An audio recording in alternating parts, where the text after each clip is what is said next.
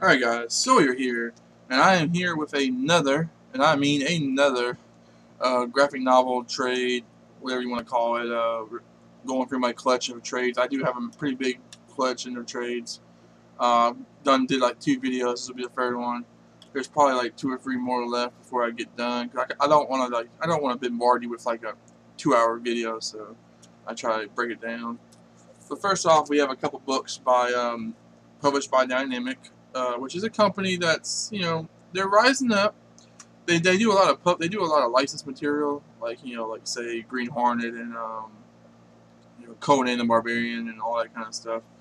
Uh, you know movie stuff like Dracula and uh, there was one I saw the other day. What was it? It's in this hall somewhere. Oh, they do like Grimm graphic novels, the TV show Grimm. So yeah, they do a lot of licensed stuff.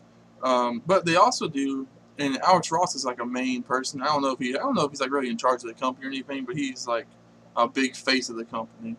And um, he started doing this thing like when the company first started. They they basically took a whole bunch of public domain characters, which if you don't know what public domain means, it basically means uh, material licensed materials or like properties, stories, whatever you want to call it, songs, anything can be licensed. Anything can be free domain pretty much.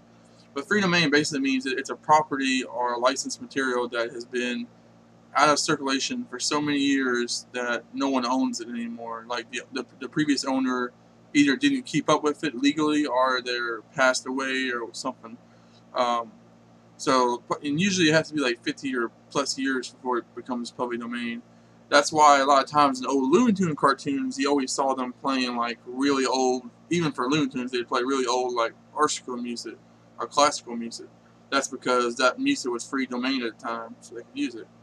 Um, so here we have uh, Miss Fury, which is Alex Ross. He took a bunch of characters that were public domain. He basically rewrote them, kind of get, fleshed them out, gave them. A bunch of them. They're mostly old Golden Age heroes. They really didn't have anything going for them. He took these characters, gave them really nice artwork, like he always does, and he basically fleshed them out, gave them like some backstory, you know, character development and all that. So this one is Miss Fury. She's basically kind of like an old school female superhero from the Golden Age that really never got anywhere.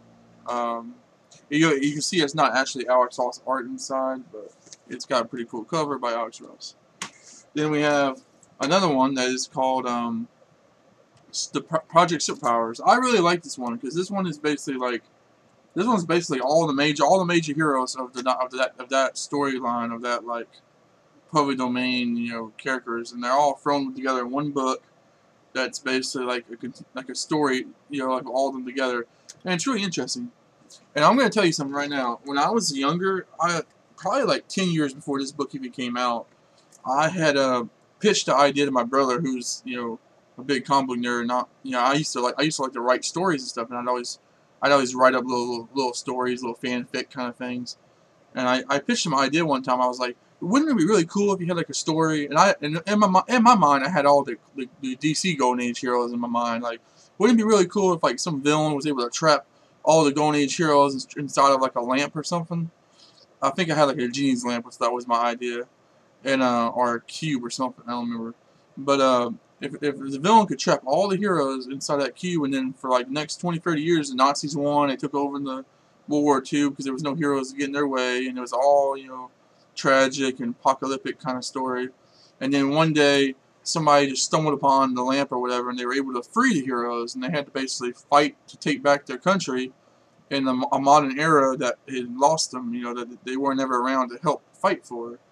Um, well, apparently Alex Ross and whoever the writer for this is, or whoever the creative team for this is, they were able to pick my mind as a kid and took this story and just ran with it because I swear that's what this story is. I don't know if it's in this is about this is chapter two, so that might not be chapter two, but chapter one definitely that's the story. Is like all these Golden Age heroes got captured by some kind of villain. He put him like he trapped him in like a prison that was like a little cube or something like that, and um, basically they get free and they have to basically fight back. And that's that's the story. Like it's you know it's not tick for tick my story, but it's got strong similarities.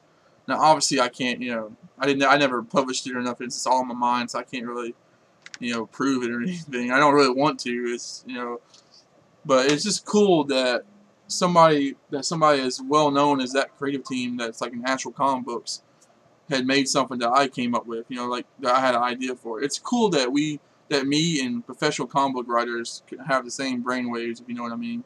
So that was pretty cool. I like, I've always looked back at that and thought it was cool.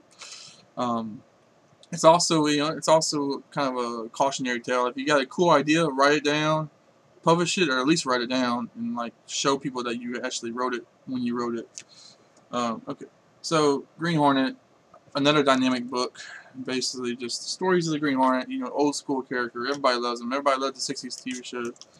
Um, we have this book. I don't know what this is, so just it's over there.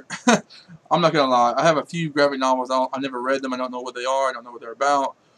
Because I used to have this uh, service called Comic Burrito or Bento or something like that. And basically, it was a subscription service. You pay like I think twenty five dollars a month, and they would send you like between four and like six graphic novels every month. They usually sent you like first volumes or like you know the beginnings of a new character or whatever, so you could just jump into it.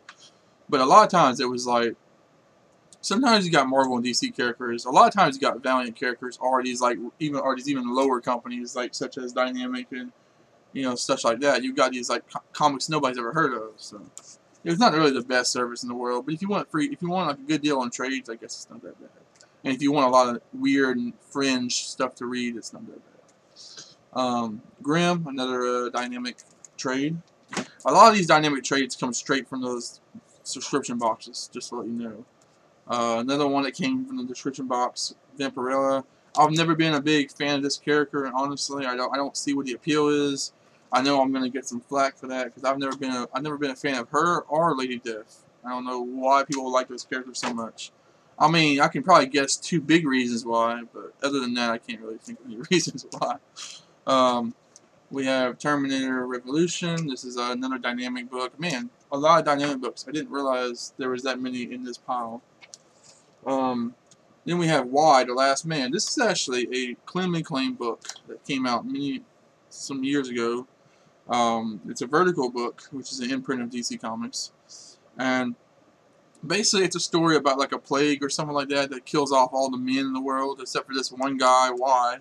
I don't know if his actual name is Y, but um, it's, there's basically one guy left, and he's pretty young. He's like a teenager or, something. Well, I don't know if he's a teenager. He's like a young, like a young adult, and um, he's the only guy left in the world. The world is like ran by mostly you know women, you know, because that's all that's left. Uh, there's a lot of lesbians because you know obviously women gotta love somebody, and there's no guys around. I mean, boom.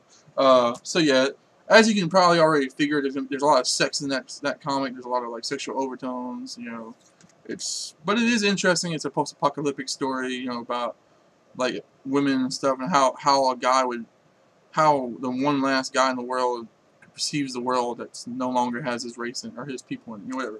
It's an interesting book. Check it out. Um, next up, we have Uncanny. Don't know what this is about, but boom, it's over there. Um, then we have Quantum and Woody. Then we have volume. This is volume what? Volume one and volume two.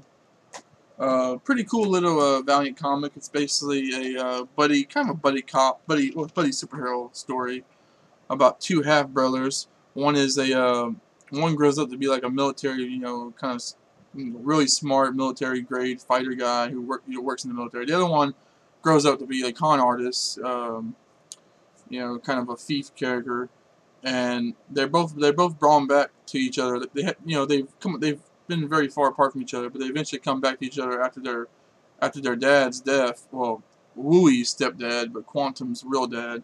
After their dad's death, uh, under under some very suspicious circumstances, they start investigating it. They find this device that their dad was working on because their dad was a scientist, and it's like a bracelet, but it's two bracelets, but each one of them gets a bracelet on them and it locks onto them. And each one of them has a different kind of power, but they can only really use the power when they're in close proximity to each other. So it's a really interesting dynamic of how these two guys that really hate each other get drawn together by several different methods. And they have to work together in order to, because they can only use their powers when they're like, when they shack together. It's really, it's, it's kind of silly. But uh, basically, Woody, who's the white guy, he has the power to shoot energy out of his hands. Quantum, who's the black guy, he has the ability to make like projectile shields and such. So basically, one's defensive, one's offensive. It's a really interesting concept. Check it out. Hit list. Don't know what that's about. I'm sure it's about some people that are on the hit list or to shoot, killing people. Don't know what that's about either. Uh, just random shit that gets sent to me.